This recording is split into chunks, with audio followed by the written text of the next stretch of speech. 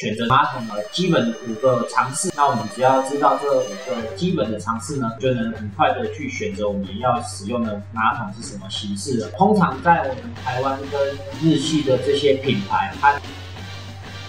是固定的。再来呢，马桶呢，我们在找的时候也可以注意它的这个模式。开始了？Hello，大家好，我是设计师豪哥。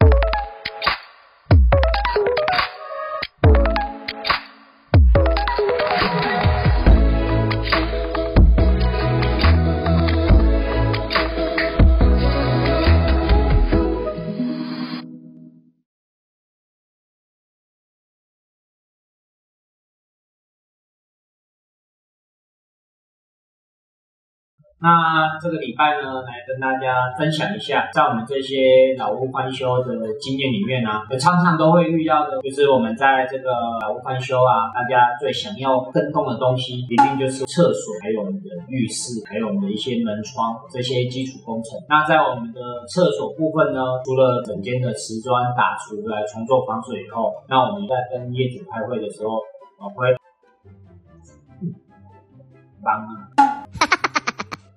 哦，在这个卫浴的设备里面也是一个讨论的重点。那豪哥今天就来分享一下我选择这个马桶的地方呢，基本五个常识。那我们只要知道这五个基本的常识呢，就能很快的去选择我们要使用的马桶是什么形式了。好，那喜欢豪哥频道的，欢迎你们订阅，然后分享。啊，记得帮我们按赞，然后小铃铛要打开，这样子就是每个礼拜可以随时收到豪哥设计公司的最新的一些经验上的分享。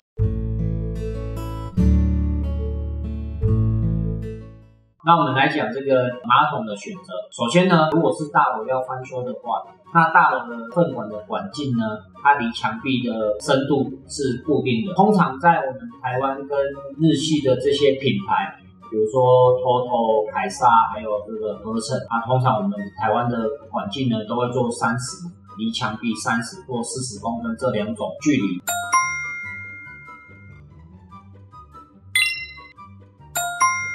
那我们选择的时候，只要注意到这个三十跟四十公分管距的距离就可以了。那比较特殊的，像这种十八、二十二这种欧规的。豪哥之前有一个呃案例，就是在一个大楼，那后来我们有询问过说，哎，为什么你们的这个浴室的这个马桶啊，它的位置离墙壁的那个距离是很特殊的？我记得是十五或者是十八公分。后来询问了以后才知道，当初这一个建商在盖这栋大楼的时候，特地去采购了 GP 马桶。那 GP 马桶呢，它的管距就是很特殊，大概是十五或十八公分。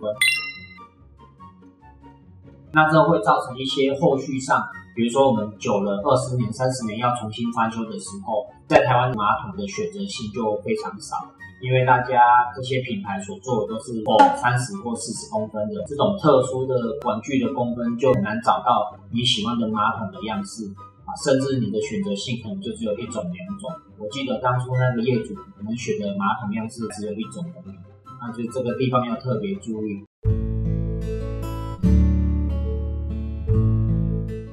再来，我们就来说这个马桶呢。我们在找的时候，也可以注意它的这个冲水的模式，就是它有分大号跟小号在使用的。那这种两段式呢，相对是比较省水一点，因为我们知道小号的话，通常会有一个比较小的按钮，那，它就是三公升的。那如果大号的话呢，是六公升的。所以我们在挑选的时候，你如果比较注重这个环保，使用水量的话呢？我们也可以去特别来选择这种有分大小两段式的这个冲水的方式。再来，这比较重要的，这个是我们在做业主开会的时候也会询问你们的。那到底什么叫做虹吸式？什么叫做洗落式？啊，什么叫做喷射虹吸？什么叫龙卷喷射？啊，其实这种冲水的原理啊，基本上就是分成冲水式跟这个虹吸式。那冲水是顾名思义就是一个字冲嘛，就是它的这个水箱比较大，然后它瞬间把这水量排下来用冲的，所以它的排出的这个管径会比较粗，那它可以在很快的时间内大量的水泄下来后，把这里面的脏污的东西一次把它排出去。那它的缺点就是它用水量就会比较大，再来它的声音也比较大声，就是我们传统冲水的那种声音。啪，然后咻咻这样冲有。水箱那一种，哎，对，马桶都有水箱啊。那有一种没有，没有的那一种叫壁挂式的马桶，它那个比较特殊，那个是直接透过它水管去冲出来的，它就没有一个储水的水箱的。那一般我们住宅会用到的，就是都是有附挂水箱的。那水箱的就是我们用的这种冲水式的跟虹吸式的。那冲水式就是豪哥刚才讲的，就是一次大量的水暴力的把它冲出去，一次带。缺点就是声音比较吵，然后它的存水温比较小一点点。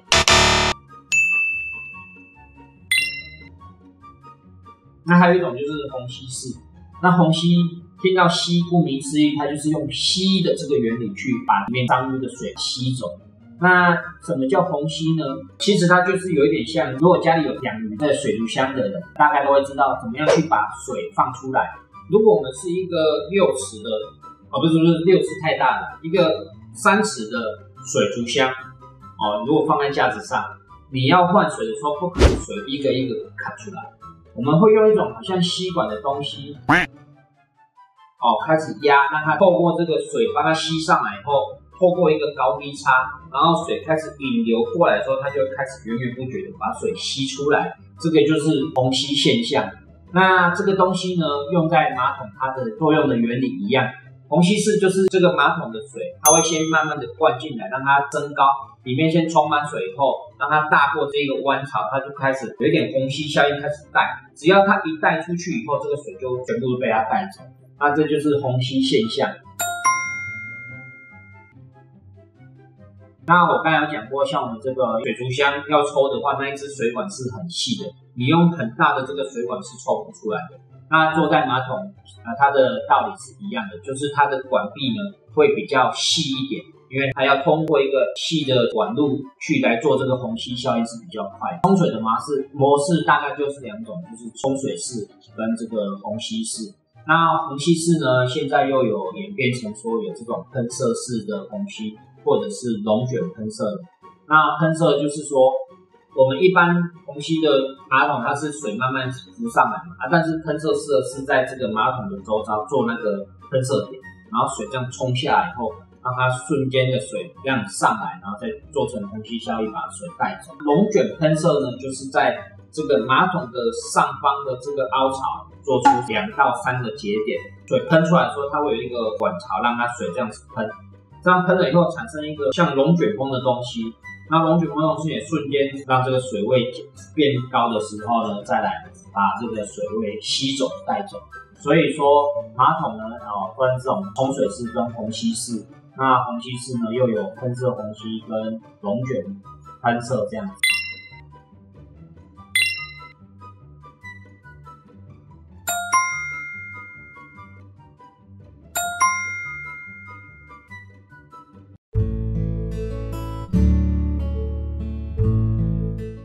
马桶呢，还有分这种两件式跟三体的。那什么叫两件式呢？两件式就是它有一个水箱，然后它有一个便座，然后它是组合在一起。它这个组合还要透过螺丝，然后我们的这个水箱的这个水管要接在这个便座上面，透过一个水密的这个 packing，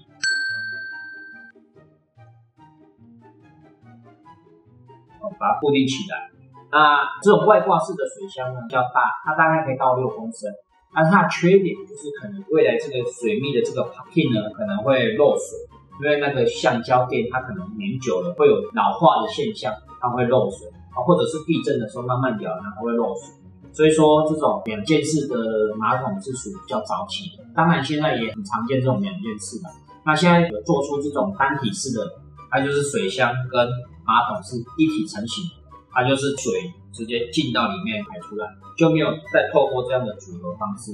那当然它的水箱就会比较小一点点，大概都会到四点八公升左右。所以如果你要排污的时候，有时候这种两件式的，它可能一次冲水就可以顺畅的把它排掉。那有时候这种单体式在排污的话，可能要冲到两次的水。